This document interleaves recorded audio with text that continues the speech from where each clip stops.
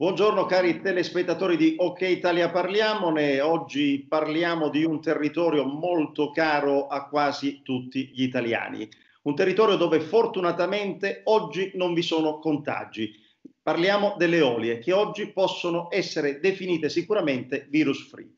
Ma le isole che da tutti noi italiani sono tanto amate purtroppo non sono immuni alla crisi economica, anzi questo stato di incertezza sui tempi del ritorno alla normalità, ma chiariamoci che non sarà più la normalità a cui saremo abituati, genera in tutti gli isolani ansia e mille incertezze tra le tante imprese dell'isole e nella loro intera comunità. Non si tratta solo di emergenza sanitaria, ma anche economica e sociale, in quanto le olie vivono di turismo e soprattutto negli ultimi anni purtroppo solo per pochi mesi all'anno. Per questi luoghi servono al più presto dei provvedimenti ad hoc per tutta l'economia locale, in quanto l'arcipelago vive e si confronta con realtà che sono ben diverse da quelle metropolitane a cui siamo abituati sulla terraferma. Ed è per questo che uno spontaneo raggruppamento di imprese locali, oggi sono circa 230, ma crescono di ora in ora, imprese operanti nel settore del commercio, della ristorazione, della ricettività e di tutta l'imprenditoria presente nell'isola di Lipari e nel restante arcipelago delle Olie, chiede alle istituzioni. Abbiamo accolto la richiesta che ci è arrivata appunto da questo raggruppamento di imprese alla redazione di OK Italia Parliamone di dare risalto alle loro voci e abbiamo ritenuto fosse giusto e doveroso per noi che facciamo informazione farlo. Oggi in rappresentanza di questo gruppo di imprenditori abbiamo Sandro Crivelli che è un imprenditore del settore della ristorazione e abbiamo anche Roberto Piemonte, un commercialista consulente per tante di queste imprese. Buongiorno Piemonte, buongiorno Crivelli. Buongiorno, buongiorno. a lei, salve. La prima domanda che faccio è a Sandro Crivelli, imprenditore che quotidianamente sta battendosi con forza per cercare di trovare una soluzione, o meglio, per cercare di capire se la propria attività potrà riaprire e soprattutto se arriveranno i turisti. Crivelli, avete inviato una comunicazione indirizzata al presidente, al governatore della regione Sicilia Musumeci e anche per conoscenza a tutti i parlamentari del Parlamento siciliano, dell'ARS e anche al sindaco di Lipari, agli altri sindaci delle isole e anche al sindaco di Messina che è il territorio competente per quanto riguarda le isole. Cosa avete chiesto in questa missiva e soprattutto voglio sapere per i nostri telespettatori se già ci sia stata qualche risposta.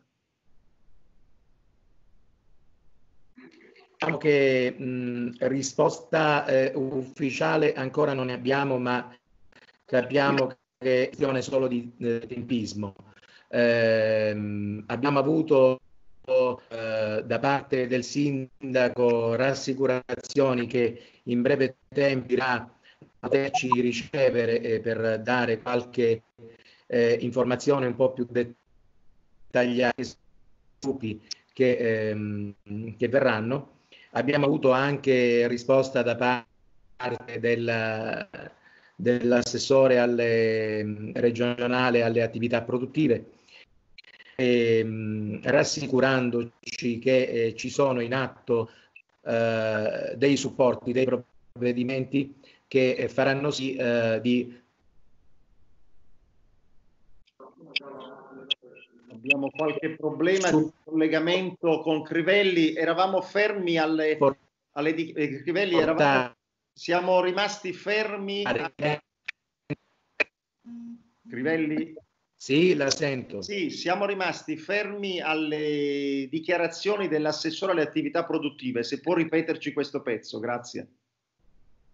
Allora, come dicevamo poc'anzi, l'assessore alle attività produttive della Regione Sicilia ci ha prontamente risposto con una mail rassicurandoci che stanno già eh, in qualche modo provvedendo per eh, riuscire a dare un supporto concreto a quelle che sono eh, le imprese, soprattutto nei piccoli eh, comuni, come ad esempio le olie. È chiaro che il nostro territorio si confronta, come lei ha ben detto, con una realtà ben diversa da quello che è la realtà metropolitana, tra virgolette, della terraferma. Qui, eh, oltre, eh, fortunatamente, a parte il eh, coronavirus che non ha mm, mietuto vittime, ma ha lasciato eh, ad oggi un territorio eh, virus free, quindi eh, questo è già un grande sollievo per tutta la comunità, ma dall'altra parte ha un risvolto drammatico non solo per l'economia delle imprese, ma anche sociale, perché consideriamo che abbiamo un bacino di eh, lavoratori che fanno esclusivamente fede a quello che è il lavoro stagionale, che ogni anno si concentra sempre in un periodo sempre più breve e quindi eh, immagino insomma eh, la, la, la, situazione, ecco non oso immaginare cosa succederà se tutto questo dovesse protrarsi. Benissimo. Roberto Piemonte, eh, fra le, le, richieste, se non ho letto male, mi pare che ci sia anche una richiesta specifica circa la possibilità di rendere meno gravoso, meno oneroso per i turisti l'arrivo sulle isole, ovvero c'è una richiesta specifica di poter fare dei prezzi, chiamiamoli simbolici, politici, per quanti turisti vogliano venire sulle isole, anche perché si teme che la stagione quest'anno, laddove speriamo possa ripartire, sarà comunque una stagione molto ridotta. E cosa ci può dire al riguardo? Esattamente, perché mh, qui da noi come per forse in altre realtà delle isole, eh, eh, diciamo i non residenti, per i non residenti viene applicata una tariffa eh, per i trasporti che va oltre il doppio diciamo, del, dei biglietti diciamo, riservati eh, ai residenti. Quindi ragione per cui proprio in questa, uh, per questa circostanza, per eh, nella misura in cui diciamo, ecco, il, nei vari provvedimenti che il governo ora farà ci sarà la possibilità ovviamente di, di muoversi perché da quello che eh, sentiamo in questi giorni il, il, il prossimo provvedimento eh, prevederà solo lo spostamento all'interno della stessa regione e al di fuori delle regioni per motivi di, per, con delle autocertificazioni. E quindi abbiamo chiesto ovviamente di mh, eh, rivedere il sistema tariffario per eh, agevolare al massimo diciamo, la, la, la possibilità per, per, i turisti, per il turismo, di a, arrivare qua da noi senza dover sostenere diciamo, un oneroso, eh, senza sostenere diciamo, grossi diciamo, carichi di eh, spese per quanto riguarda i trasferimenti che sono, come ripeto, molto onerosi. Oltre questo, anche per quanto riguarda l'aspetto, eh, abbiamo, abbiamo chiesto nella lettera anche mh, la, la possibilità di ottenere degli sgravi di natura fiscale, considerato che il nostro territorio, come ha ben illustrato Sandro Grivelli, lavora praticamente, svolge le attività, si svolgono nell'arco di eh, sei mesi quando tutto va bene. Eh, se vogliamo contare effettivamente i giorni di lavoro, ormai ridotti, siamo, siamo, ridotti a due mesi, due, due mesi, due mesi e mezzo di lavoro mentre siamo equiparati per quanto attiene il carico fiscale alla terraferma. E per questo vogliamo diciamo, ora uh, portare avanti questa richiesta uh, di avere uh, una cosiddetta fiscalità di vantaggio simile diciamo, alle zone franche urbane che sono già state attuate in determinati territori, ossia di avere uno sgravio de, sulle imposte diciamo, generali, IRPEF, IRES, almeno del 50%, proprio in considerazione della, del breve periodo in cui noi svolgiamo uh, l'attività, le, le, aziende svolgono l'attività,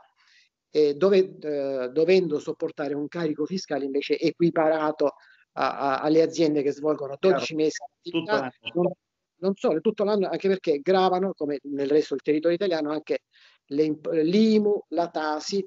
e quindi anche diciamo, tutte le attività, pur lavorando un breve periodo, devono sostenere degli oneri fissi, degli oneri fiscali fissi che praticamente assorbono eh, tutto il guadagno diciamo, della stagione, viene praticamente assorbito dalle imposte, resta, resta poco, resta quasi nulla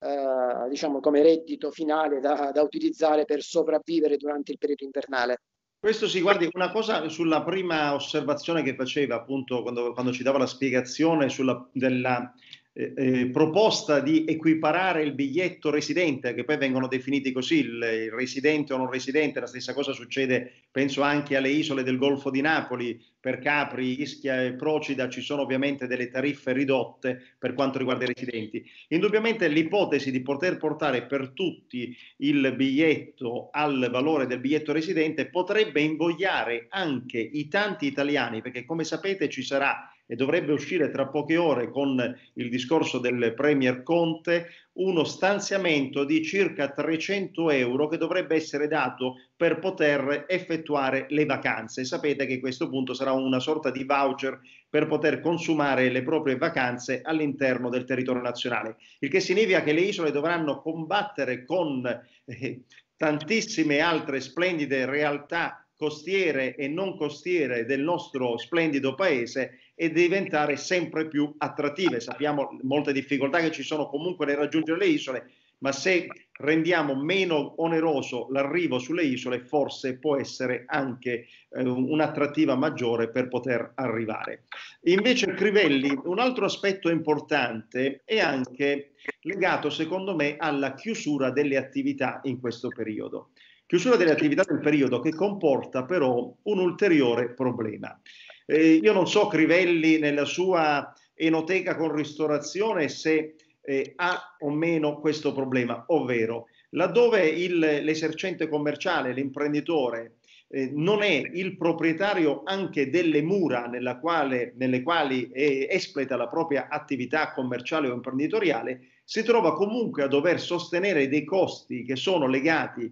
al costo di fitto dei locali. Qui faccio una parentesi, ricordiamoci che l'unico vantaggio nel settore dei locali in fitto è stato dato per il settore C1 con un credito d'imposta che era dato fino al 60% del valore del fitto per un mese, ma a quel punto si trova a dover sostenere comunque costi di, costi di, eh, di fitto dei locali e poi anche costi delle utenze. Anche su questo aspetto avete provato a, eh, a, chiedere, a fare intervenire? Mi pare che il sindaco di Lipari abbia dato forse una disponibilità anche ad intervenire in questo senso, oppure una notizia che abbiamo preso dalla redazione che non corrisponde al vero?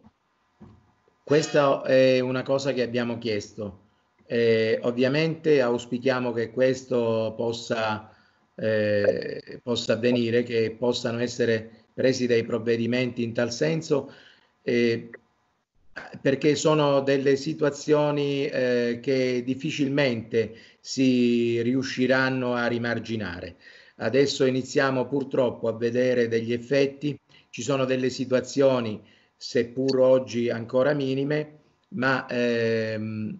eh, che potranno diventare eh, molte, eh, per molte aziende eh, un gravissimo, gravissimo problema c'è una sorta di eh, non c'è più un equilibrio, ecco, eh, oltre il problema eh, economico e sociale iniziano anche eh, a diventare difficili alcuni rapporti umani, seppur nella totale emergenza. Eh, questo sgretolarsi di quelle che sono le mh, eh, quelle, quelle funzioni basilari del, del, del, modo di vivere civile, dell'aspettarsi a volte una mano d'aiuto quando magari dall'altra parte eh, non si può riuscire a darla. Quindi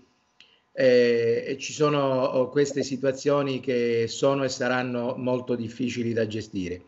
Anche perché eh, sul credito d'imposta, anche qui c'è da dire qualcosa, il problema non è tanto dire ok, io oggi pago l'affitto, ma avrò un credito d'imposta del 60%. Attenzione, qui la realtà è ben diversa, ci vuole liquidità e al momento la liquidità che manca agli imprenditori per riuscire a fare fronte a tutto questo, compresi eh, gli affitti degli immobili e tutto. Sì, se pensiamo anche che anche le forme di finanziamento Ovviamente ricordiamoci che non sono forme di finanziamento a fondo perduto, cosa che invece servirebbe, ma sono con una restituzione prevista in cinque anni. È chiaro che non aiutano e per di più stentano ancora a partire. Sono partite solo quelle fino al valore di 25 mila euro e ricordiamoci il tetto massimo che uno può avere col 100% di garanzia dato dallo Stato col fondo di garanzia, ma che deve corrispondere al 25% del fatturato dell'annualità precedente. Quindi insomma ci sono grandi difficoltà giustamente per le imprese per reperire liquidità. Eh, Piemonte, un'altra domanda a lei è relativa a quello che sarà la prossima normalità. Io l'ho detto in premessa, dovremmo aspettarci il ritorno alla normalità che non potrà più essere una normalità come quella del passato. Mi spiego meglio. Sappiamo tutti, perché ci è stato anticipato, ma succederà per forza, che alla ripresa comunque della libera circolazione delle persone, perché per le merci già c'è la libera circolazione e per fortuna che questo ci ha garantito comunque di poter andare avanti, ci sarà comunque l'obbligatorietà da parte di tutti gli esercenti commerciali, tutte le realtà, le fabbriche, le industrie, le imprese, eccetera, eccetera, di garantire la sicurezza dei lavoratori e la sicurezza degli avventori nei propri locali. Mi spiego meglio, si ci dovrà garantire il, lo distanziamento, dovrà essere garantito il distanziamento sociale tra le persone. Ora, eh, pensiamo agli alberghi, ma pensiamo anche ai ristoranti. Di proposito non faccio la domanda a Crivelli, ma chiedo a lei perché ha il polso della situazione di tanti esercenti commerciali di questi settori. Sono, ci sono gli spazi idonei per poter fare questo? Perché se un, io non conosco la struttura di Crivelli, ma se Crivelli ha la recettività interna per 10 tavoli, quindi per 40 coperti, e dovesse garantire soltanto non 40 persone eh, per volta, ma potesse averne soltanto 15 piuttosto che 20, forse un business plan eh, nuovo per Crivelli porterebbe a dire a me conviene chiudere la mia attività imprenditoriale. Questa è la situazione che si rischia nelle isole Olie? Allora, in effetti diciamo, la, le dimensioni diciamo, medie delle nostre attività mh, diciamo, di ristorazione, di somministrazione, sono tali che eh, rischiano di rendere sconveniente addirittura l'apertura dell'attività, perché eh, non abbiamo gra grandi strutture, se c'è qualche media struttura, al tempo stesso i costi di gestione, cioè nel senso aprire il ristorante con l'assunzione del personale, e, e andare a lavorare diciamo, per fare 30-40 coperti al giorno, sempre nella misura in cui diciamo, avremo un flusso turistico che ce lo consenta, eh, in, diciamo che forse nella stragrande maggioranza delle attività renderà sconveniente, cioè forse converrà non, a, non aprire completamente la, per questa stagione perché eh, non, non, non, è, non, sarà sostenibile, cioè i costi eh, non saranno sostenibili perché come ha detto lei eh, la, la, la, la, superficie, diciamo, la, la, recettività sarà talmente, la ricettività, cioè i posti, diciamo, i coperti da poter, da poter servire eh, saranno talmente ridotti mh, mm, che non renderà coprire costi le entrate. Oltre ai ristoranti,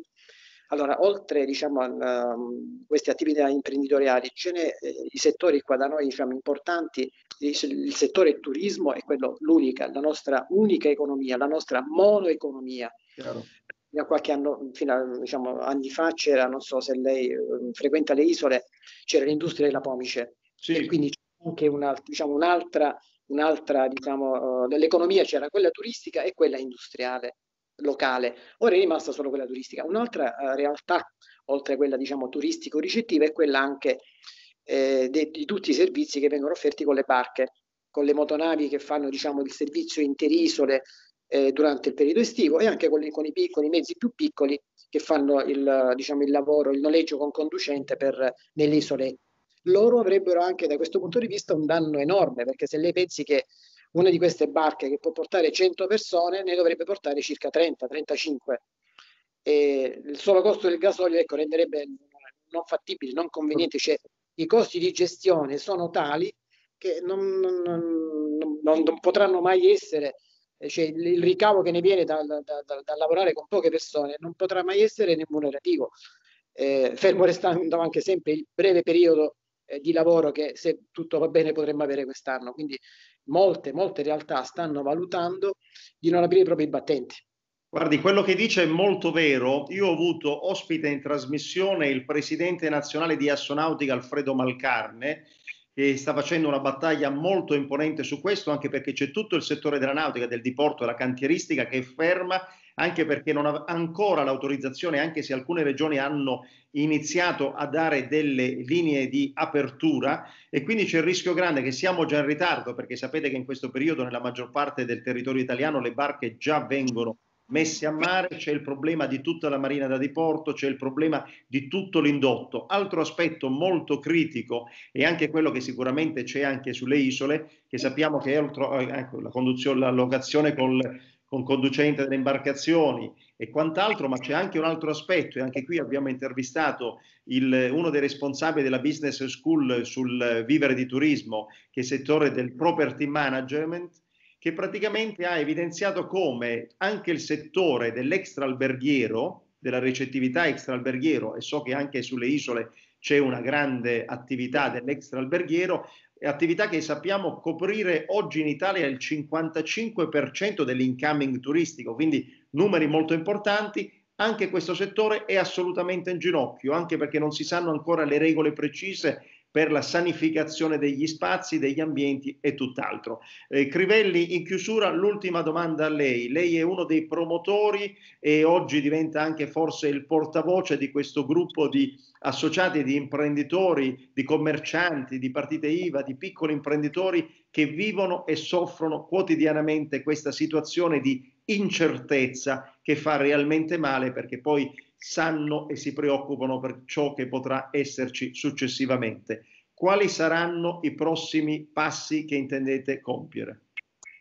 Allora, intanto voglio fare un, voglio, mi permetta di ricollegarmi solo un attimo su quello che diceva uh, appunto sulla gestione di un'eventuale fase 2 di riapertura, soprattutto per molte attività uh, commerciali così come il settore della, della ristorazione, ma diciamo un po' per tutte, eh, chi più, chi meno, soprattutto eh, settore ristorazione, eh, i, le gite delle barche, ecco. Eh, aspettiamo che eh, il governo ci dia delle linee guida più precise, eh, più consone a quello che potrebbero essere rimanendo assolutamente eh, all'interno di, di quello che è la sicurezza sul discorso sanitario, aspettiamo delle nuove linee guida per poter capire se noi eh, possiamo o meno tentare di, eh, di fare turismo quest'estate.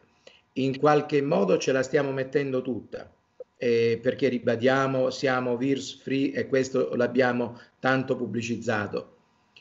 Ma eh, se il governo non riesce a metterci in qualche modo nella condizione eh, logistica, se vogliamo, ecco, di poter gestire la sicurezza al ricevimento dei nostri clienti, parlo qui un po' eh, di tutte le categorie eh, imprenditoriali, eh, diventa alquanto complicato anche perché oggi abbiamo tutta una serie di, di norme, eh, di un po' di confusione ancora.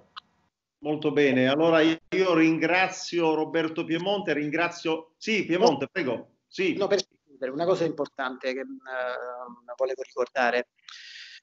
c'è in itinere da diversi anni, da molti anni, uh, in Parlamento una legge speciale per le isole minori. Questo perché? Eh, allora una, una, delle diciamo, prerogative, una delle iniziative, una delle battaglie che mm, diciamo, cerchiamo di portare avanti è quella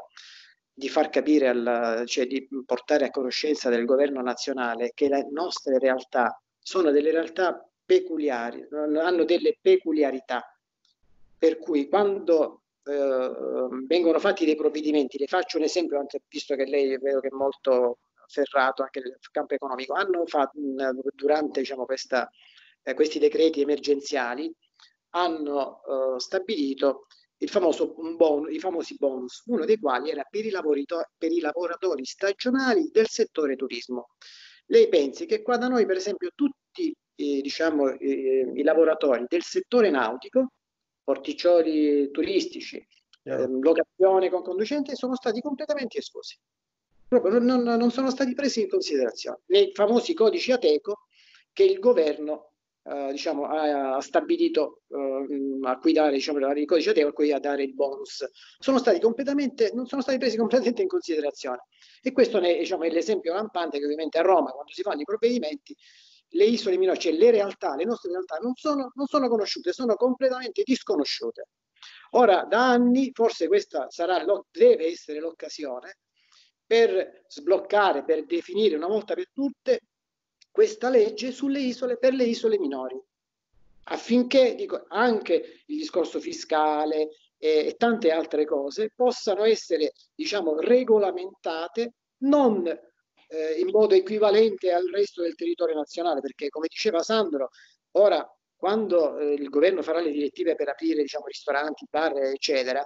ovviamente un ristorante di Roma piuttosto che un ristorante di Torino di Firenze non sarà certamente un ristorante di Lipari o di qualche altro o di un'altra isola minore, attenzione, io parlo anche delle isole minori dove le realtà, anche la realtà ristorativa non è, cioè non è equivalente a quella della terraferma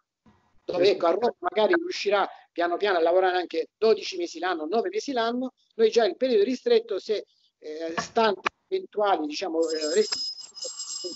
quindi questa cosa è importante, questa legge eh, per, le isole, su, per le isole minori che da anni giace nei meandri del Parlamento, diciamo, non sappiamo più dove è andata a finire questa cosa, era, eh, c'erano delle iniziative, addirittura i 5 Stelle anni fa l'avevano È molto importante che i vostri rappresentanti politici del territorio si facciano carico di queste, eh, di queste giuste rivendicazioni. Da Poi, parte di OK Italia Parliamone anche noi